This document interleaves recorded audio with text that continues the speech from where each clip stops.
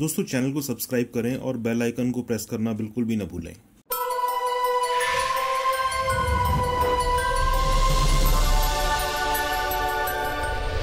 नमस्कार दोस्तों, आपका हार्दिक स्वागत है हमारे ओनली आयुर्वेद डॉट कॉम के आज के इस वीडियो में।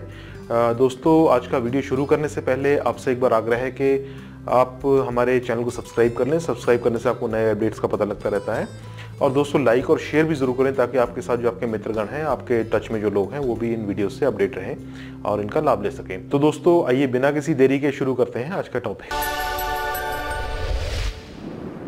दोस्तों, घुटनों और जोड़ों का दर्द काफ़ी सामान्य सी तकलीफ़ है, जो कि बहुत लोगों को देखने को मिलता है और उम्र बढ़ने के साथ साथ ये प्रॉब्लम और ज़्यादा गंभीर होती जाती है। तो ऐसे में हम अक्सर पेन किलर्स लेते हैं, जो कि और ज़्यादा नुकसानदायक होते हैं। तो प्राकृतिक तौर पे आयुर्वेद ने हमें इसके लिए कुछ सामग्री बताई है जो कि हम ले सकते हैं और उससे इसमें राहत मिलती है। तो ये मेडिसिन बनाने के लिए दोस्तों देख लेते हैं सामग्री क्या है। संतरे का रस एक कप एक कप पानी, दालचीनी एक स्टिक यानी कि एक इंच डेढ़ इंच के आसपास हो जाएगी और कटा हुआ अनानास दो कप, शहद स्वाद के अनुसार आधा कप कुटे हुए बादाम और जौ का दलिया एक कप। और इसको तैयार करने की विधि इस तरह से है।